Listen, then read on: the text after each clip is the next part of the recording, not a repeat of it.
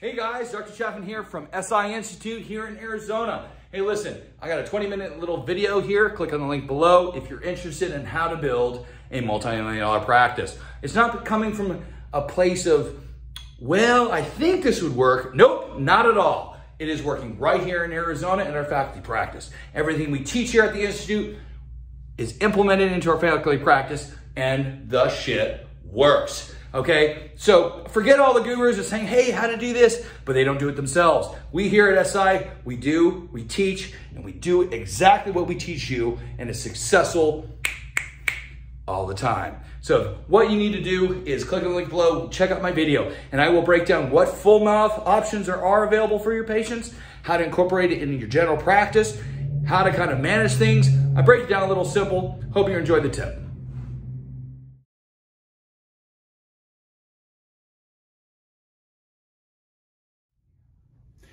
Hey guys, this is Dr. Jeff from FMSI, and this video is about how to build a multi-million dollar practice. Catch your attention? Everybody wants to know that. How do you build a multi-million dollar practice? Not a million dollar practice, not a two million dollar practice, but a multi-million dollar practice. And a lot of doctors ask me that question all the time. So I wanted to go through some suggestions that I actually do to help build a multi-million dollar practice. You know, the first thing that I always look at is you want to break things down a little bit okay? Uh, on this chalkboard, I have some things written down. I'm gonna go through it a little bit as far as this center part is your practice, okay? And we're gonna talk about two sides of your practice. Marketing, business consultants, do you need them, okay? Where do I get training at? There's a lot of things and how do you kind of break it down to make shit easy? Okay, so I like to, anybody that knows me and come to the institute and teach, I like to make shit easy because life is easy you just got to have a direction, a plan, a pathway. Okay? So, for example, business consultants. Guys, you guys are getting tackled. Everybody who's watching this is, tech, is tackled by a marketing company. Hey, listen, we'll, we'll build a $2 million practice and we'll market your, your market your practice and we'll, we'll, we'll get you lead generation. Okay, well, if you're going to do that, what is your what is the products you have to sell? Are you trained to do it proficiently? Guys that have done one or two implants, you're not ready for a lot of the bigger cases yet. So if you start marketing implants, you're going to get a whole shit ton of stuff coming to your office, and you got to clinically be prepared to do so. But not just clinically, you got to be able to have the process to be able to close the deals and actually perform the, the surgery as well as close the case financially. Okay, you've got to achieve what makes sense for function to your patient, what makes sense for financial to your patient, to come down with alternative choices so your patients have options and choose the best thing that's according for them. Okay? A lot of people ask me, okay, if I have a business consultant that approaches me, what is the things that are important to you, Dr. C? Well, I'm going to tell you. I had a business consultant that uh, approached me. He's like, dude, I, I want to teach you how to be a dental CEO. Okay. Once he, he didn't ask me any questions about it, but then I started asking questions to him. I'm like, okay, well, how can you help me? What have you done in your life, you know, that I need to trust you to be able to build mine? You know? And he was like, well, you know, I mean, I'm a, I'm a dental consultant. I was like, great, well, but what have you done? He goes, well, I've run, I've run some practices. I like, what's the biggest practice you've run? He's like, well, you know, I mean, about a million dollars. I said, I do $6 million a year. Have you ever run a $6 million a year practice? Answer is no. Do I want to hire this guy as my business consultant to teach me how to be a dental CEO when he hasn't done it himself? Hmm, gee, or when I find business consultants that have really good theories and stuff, and I hear that they have practices that they can actually implement their own systems within that practice. Hmm. Or I'm going to go take some implant courses, but the guys that are teaching it have never done it themselves or have successful practices. There's a problem there.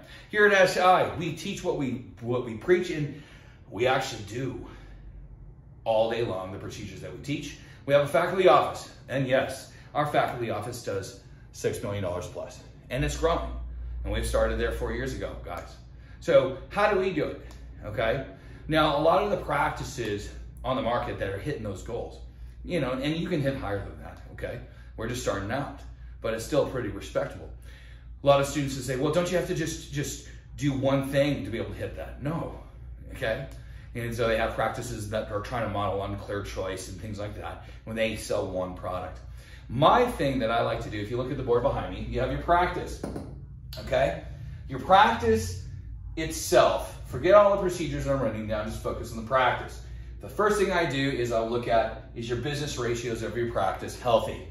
Now, anybody doesn't know that, you may want to go over your P&Ls to make sure all your ratios from rent to staff and all that stuff is a healthy and healthy spot. There's a lot of consultants that try to drive that ratio down so low that they actually compromise the quality of care by choosing cheaper labs, but they also don't market, so they're never really gonna grow. And so what you see is you see a lot of these practices maintaining a certain stature all their existence. It's been 700 grand for the last 20 years. No, we're business guys too. We wanna grow our business. Otherwise, what are we doing? Okay? So the first thing is I want you guys to look at your practice, look at your business ratios, I want to look at your operational components into your practice and, and look at your sales process. Okay, how the Jungle Cruise goes down, how your uh, presentations happen, how is your communication, and those are three things as a practice I would look at. Side branch over here says GP office, all procedures and simple implant placement. So the guys that are coming to our class, a lot of them are really seasoned. We have the young guys that's like, well, how do I implement implants in my practice? I kind of do simple procedures. So if you have a, one aspect of this is your general practice. This is the category where you have your hygiene program, you're doing crowns, fillings, uh, extractions, root canals, but you're also adding implants. When you start learning implants, that's where you're adding it to. Simple stuff, because a lot of times you take these classes, then you're not really ready for the advanced stuff. So this is where I categorize.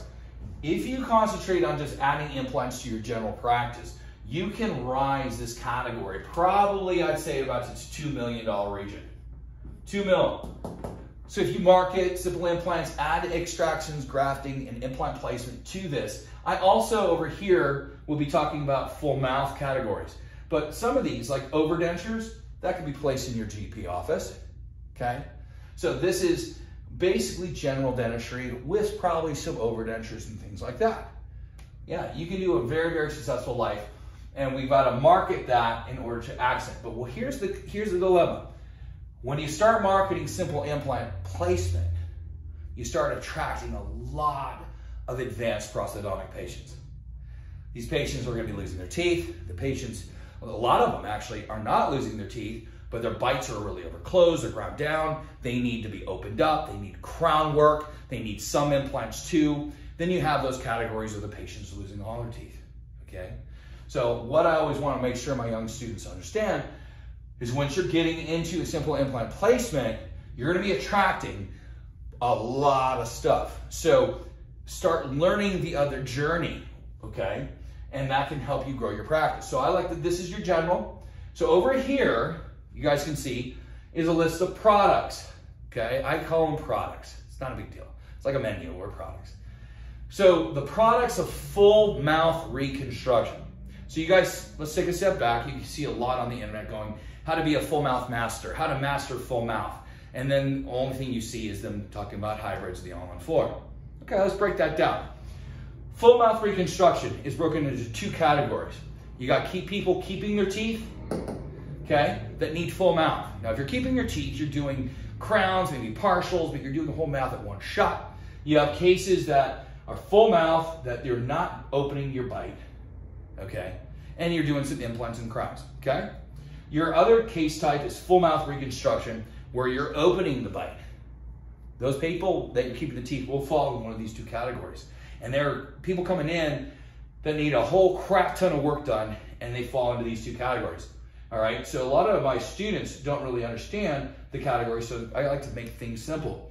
So, no opening bite patient, vertical's good, you know, you got room for stuff, you know, not a probably a hard case to do if you know how to design and, and know the process of doing these kind of cases. So this whole list I've broken down are all the full mouth procedures that are in dentistry. Okay, so number one is full mouth with no opening bite. Full number two is full mouth with opening bite. Now, why are these cases important financially? Well, this case is usually about 25 grand per arch, which is a total of 50. These kind of cases are about, with opening bites, about 56,000. Oof, oh, those are big tickets, right? Okay, so now let's go into the other category of full mouth, patients losing all their teeth. Okay, the third category in full mouth is overdentures. People are like, that's not full mouth. Yeah, it is. We're dealing with your entire jaw positioning, you're losing your teeth. We just happen to select implants with an overdenture prosthetic, which is our removable prosthetic. Now look at the look at the financial benefits here too. So we have locators. Locators are meant for mild to moderate bone loss. We have a category called bars with overdentures that are meant for severe bone loss. No, don't don't don't sugarcoat this. This category three is pretty profitable for a practice. Sixteen thousand dollars an arch for a locator. So if you're pulling the teeth, doing four implants with a locator bar overdenture, it's about 16 grand or 32 for your entire mouth. Oof. If you're doing bars, Hader bars, top and bottom with four implants, you're probably looking at about 20 per arch or 40 grand. So category three is very, very profitable in full mouth dentistry. So when you start thinking about full mouth, you're doing the whole thing at one shot, and it's definitely full mouth. Wouldn't you agree? But we have categories. Locators are good for mild to moderate bone. Bars are good for severe patients with a lot of bone loss. Okay?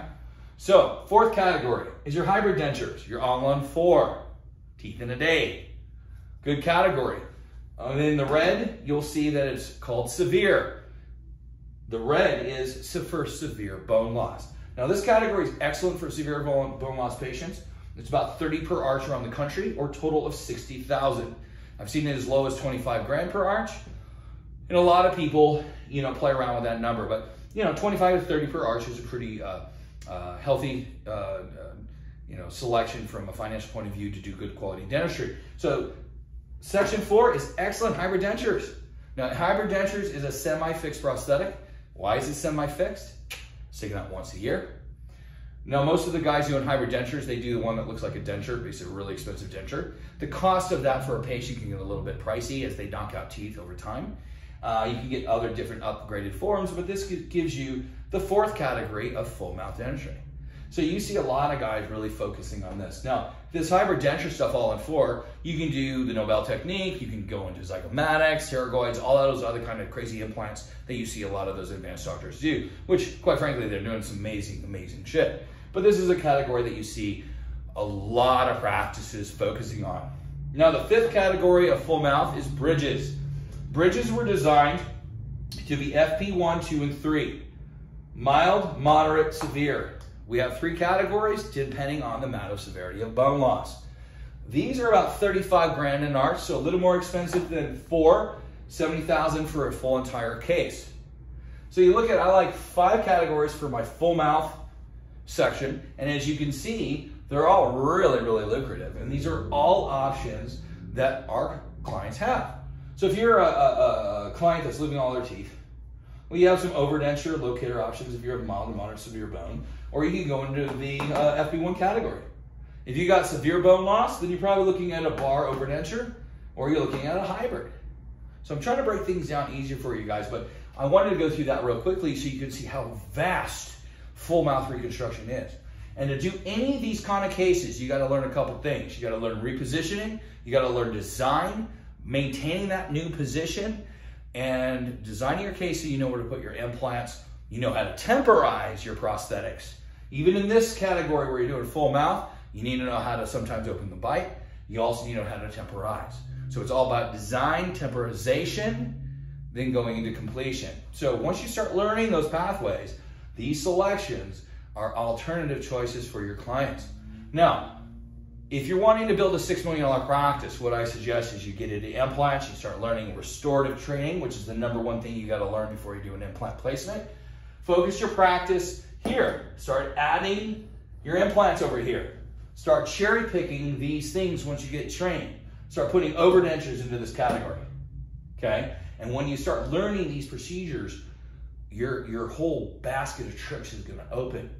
Now, up here, NP, new patients. You've got to drive that number up, and that's from marketing. And marketing is an easy way to grab fee for service patients. Most doctors don't market, so most doctors are not going after them. And I'm going to tell you guys that listen to this video, there are so many clients that are needing your services. They're needing a lot of these choices. This side, as far as your, your, your patient population goes, is increasing the need. Okay? Got a lot of complex cases coming to your office, especially when you start to market. But you can build $2 million right here. You keep this thing rolling. And what I would do is I would start marketing your implants and things that attract implant patients in. And then once you have all this stuff down, you're able to do some really cool dentistry. And this side, even five cases a month of any of these price tickets can really raise a bar in your practice. And if you reach your GP office to two million, you add five cases at, you know, 40,000 a pop, even if it's a denture bar or 30 grand a pop for a full mouth, you're talking about another 150, 200,000 dollars like that. But you don't want to just jump into this before you're ready. Start your journeys, then start getting, you know, your learning process from, this is all based on restorative dentistry, okay? So as I just wanted to convey in this video, placing the screw is pretty freaking easy. What patients judge you on is what goes on top. What everybody is different. There's not one case you make everybody the same. So when you guys are looking at this when I'm talking, number four, that's what a lot of guys go for. Everything's a hybrid denture, right? Well, look what they're missing. They're taking cases that can be restored and jumping down to full mouth as hybrids. So there's a lot of practice, and I want to tell my students, the guys are watching this video, you will become way more lucrative when you have options and alternatives for your clients instead of becoming a practice that you say that you're full mouth, but you only offer one selection. And as you can see, there's five selections and you're only offer number four. Because you're gonna have patients that come in that are not good for four, but are good for five. Or they're good for four and a bar, or good for bridges and an overdenture. Or maybe, hell, if you know how to open the bite, you can save a lot of these teeth. And these are good price tickets, but it's about being conservative, offering choices to your clients. And as this expands in your repertoire and you're able to do these things, the more focused you are on restorative dentistry, the better your implants are going to be placed, the more long term they're going to be successful. And implants are just screws and bone. I would also suggest that stay in your lane. So once you start mastering this stuff, even if you don't, if you want to keep your practice simple and just do simple implant placement, learning the restorative reconstruction components of advanced prosthodontics will actually give you an edge as well because you can now team up if you want to with a specialist and now you know how to design the case, set up the case, and actually communicate really effectively with your specialist. Your specialist will appreciate you because you know what you're doing, even if you're not doing the implants. And because when you're doing hybrids, there's certain places you need. When you're doing dentures, there's other certain, you put implants in certain positions. When you're doing bridges, you're doing them in teeth locations, okay? A lot of hybrids are flat plane on flat. Bridges are profiling out of your gums. So each of these components have different restorative needs, different placement needs, and if the more you are, have a background in that, the better off your journey with implant placement is going to be. But my tip basically is how to build over a $6 million office. Well, here at SI, we're doing it right now. We do it as we teach and we preach as we do. So if you want to come and learn from a, uh, an institute that is actively doing it, it's not, oh, well, I can build a $6 million. No, we're doing. We're doing it right now. Okay, I think this year we're gonna hit seven. Now, it's not about anybody who knows me. It's not about the money. It's about good ethic articles, conservative treatments patients are happy about, giving them alternate choices that fit their function, fit their financials, and fits their lifestyle so they can actually really want to buy your products, okay? So anyway, this is Dr. Chaffin closing out. Have a great week. Hopefully that helped. Take care.